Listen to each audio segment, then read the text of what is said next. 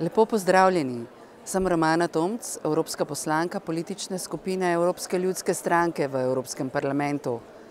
V parlamentu sem tudi članica odbora EMPL, ki se ukvarja s področjem sociale in zaposlovanja, ter odbora ECON, ki se ukvarja s financami in gospodarstvom.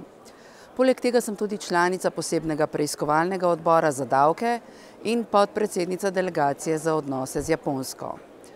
Izmed vseh vlog, ki jih ima Evropski parlament, bi izpostavila dve. Prva je ta, da je Evropski parlament edino demokratično izvoljeno telo v organih Evropske unije, druga pa, da so odločamo o skoraj vsej zakonodaji, ki je v veljavi v Evropski uniji. Kaj več pa se bomo pogovorili na simulaciji Evropskega parlamenta novembra v Ljubljani. Vabljeni!